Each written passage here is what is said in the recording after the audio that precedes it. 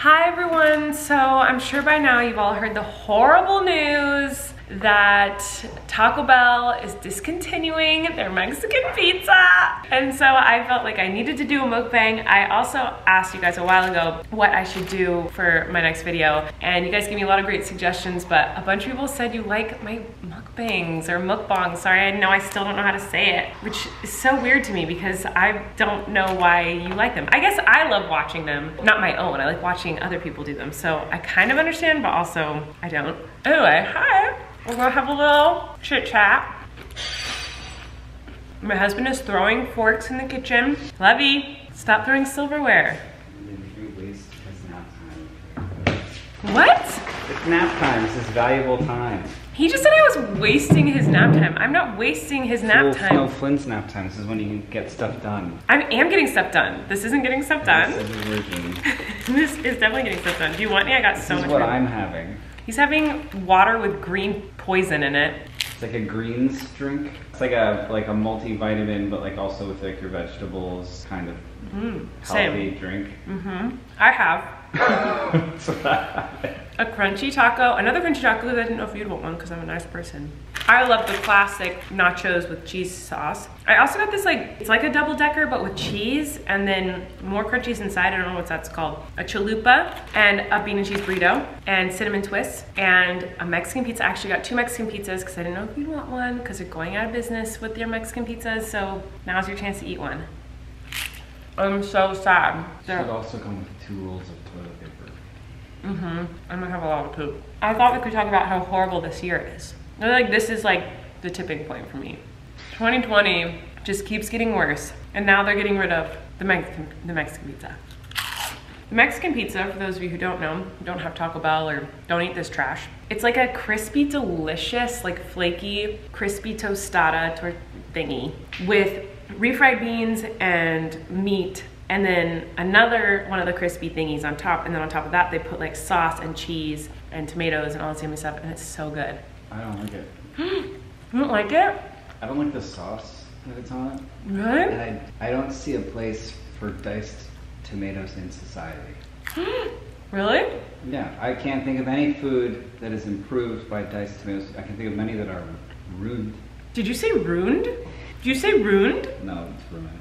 I'm usually not a fan of diced tomatoes either, but I'm just trying to enjoy this because this is gonna go away forever. By the way, we're doing Health Week this week. It's going well. We did help me last week, and I continued it. You, Yeah, I stopped. I had to because I had to say goodbye to the Mexican pizza.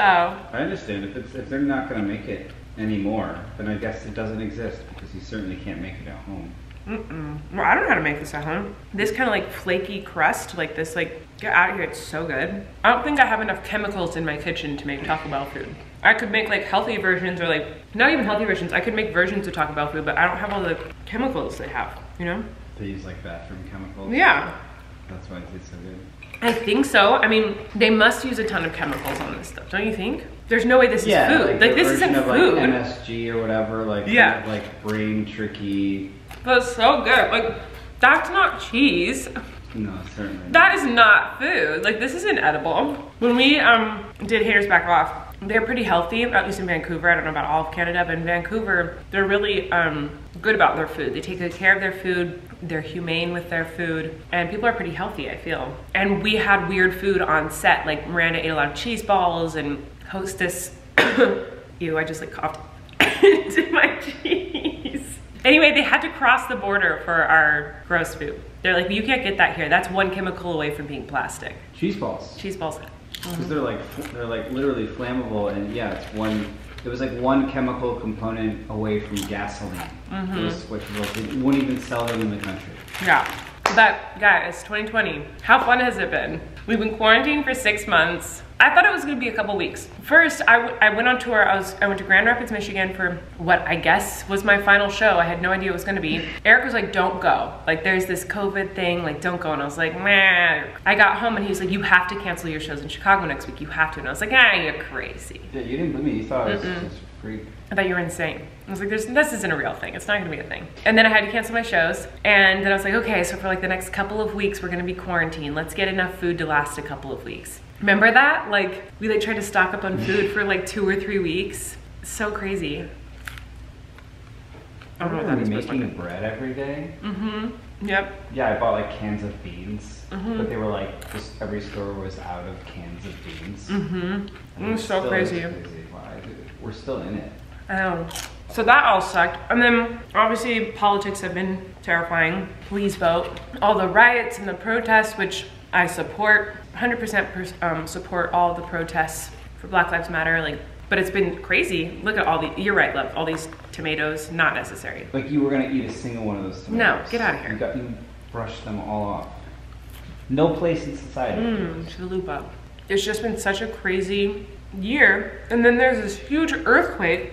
It was terrifying. Sugar House to the core. We're due for another one. They're saying there's going to be another huge earthquake in California soon. And yesterday, Not- we're surrounded in fire. Like where we live, it was like fires popping up all around our house, like really close to our house. And I was like, and this weekend is supposed to be 111 degrees. Like a record, like the hottest LA county has ever been. Like, are you kidding me? Like, can we catch a break? This is so nuts. Do you want some chalupa? I mean, in my heart I do, but in my brain I do. Mm-hmm.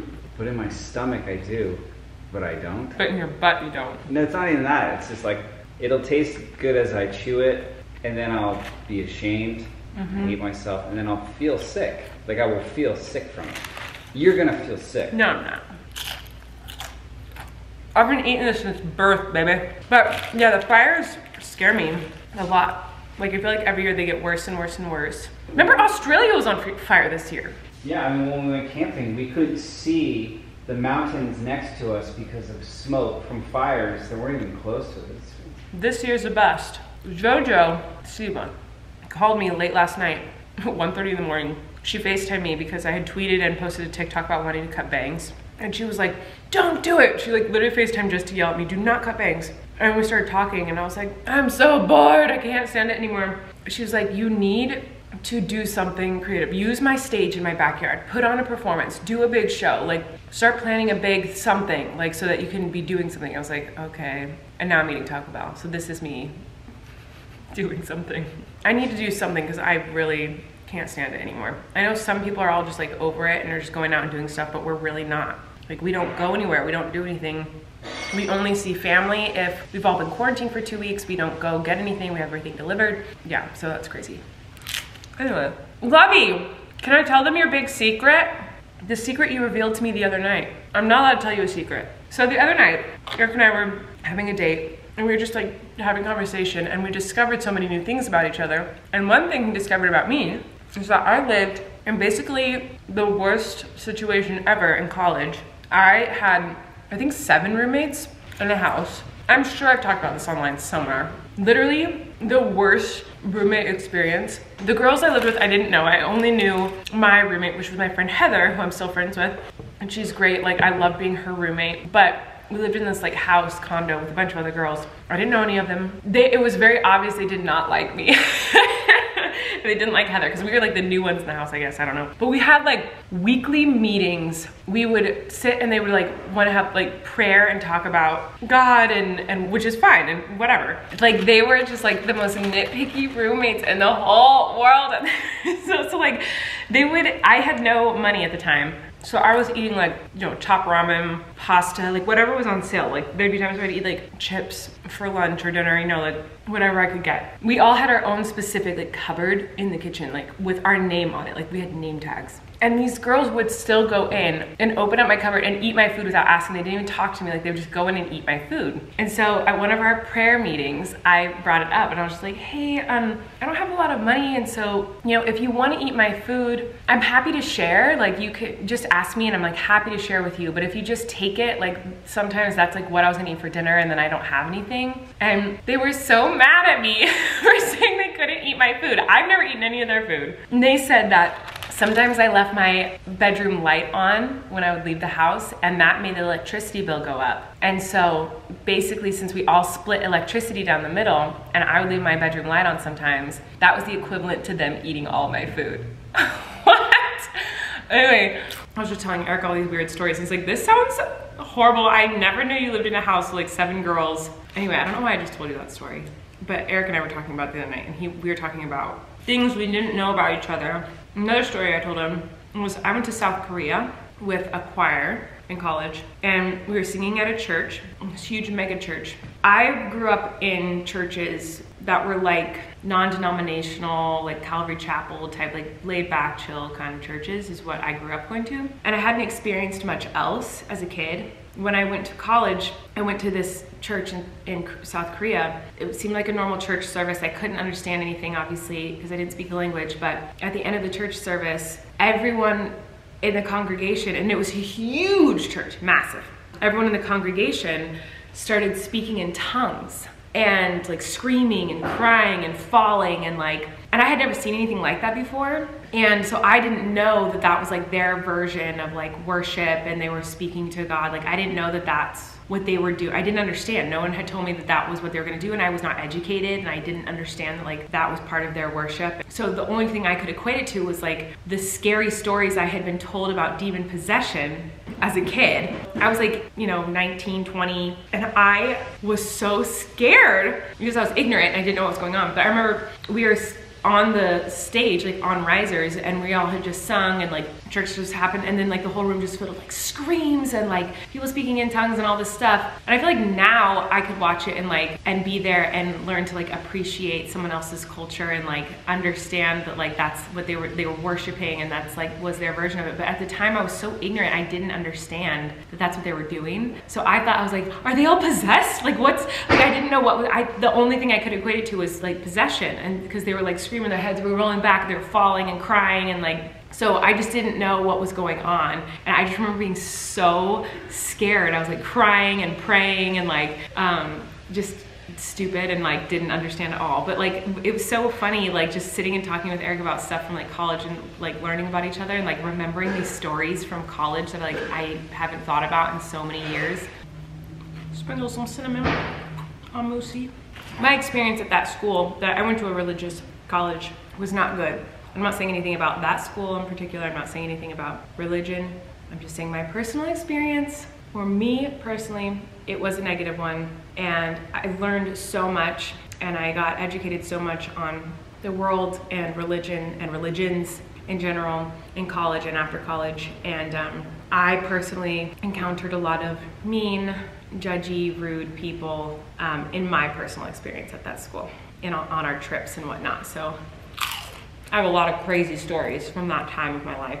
Dude, these cinnamon twists are so good. There was a time where Alice Ripley, who's a Broadway performer, she was in a musical called Next to Normal, which I've, funny enough, been listening to a lot lately. I love that musical. I think it's so good. And when I saw it, I actually saw it with Ariana Grande and Aaron Simon Gross, one of her best friends, and Joan Grande. They took me to go see it when it came out, and they had all seen it and they loved it. And so they wanted me to see it, but didn't give me any context. And so I had no idea what was gonna happen, and I don't wanna spoil it for anybody, whoever sees it or listens to it, but there's a twist that I didn't know was coming and I wasn't expecting at all. And so I really love that show, like blew me away. But anyway, Alice Ripley plays the mom in the original cast, and it's a very difficult, um, overwhelming, intense role to play, the role that she played. And I just have a feeling maybe she's the type of actress who gives all of herself to, I mean, she clearly does, she's incredible, but maybe it like transfers over to the rest of her life, even when she's not on stage. Because at the time she would make these YouTube videos, this is like 10 years ago,